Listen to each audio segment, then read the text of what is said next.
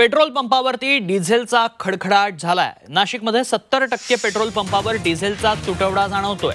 तेल कंपन्यांच्या कोटा पद्धतीनं ही परिस्थिती ओढावली आहे. नाशिकसह खानदेश मराठवाड्यालाही याचा मोठा फटका बसलाय. इंधन कंपन्यांकडनं कोटा पद्धतीनं इंधन पुरवठा केला जातोय. त्यामुळे मोठ्या प्रमाणात इंधन तुटवडा जाणवतोय. मनमाडच्या तेल प्रकल्पातनं खानदेश मराठवाडा आणि विदर्भात इंधन पुरवठा केला जातो.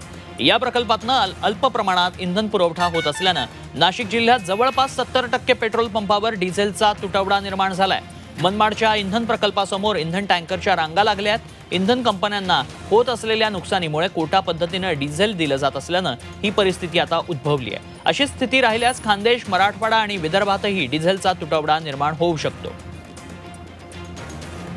आणि बी पी सी एलमध्ये डिझेल प्रामुख्याने डिझेल भेटून नाही राहिलं. त्यामुळे पूर्ण जो लोड बाकी ऑइल कंपन्यांवरती येतो. आणि त्यामुळे बरेचसे पंप हे ड्राय होत आहेत. डिझेल मागे आणि पेट्रोल मागे कंपनींना हेवी लॉसेस आहेत.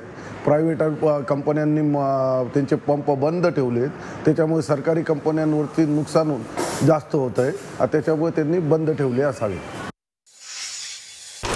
लाल मातीतली कुस्ती. Duhunji.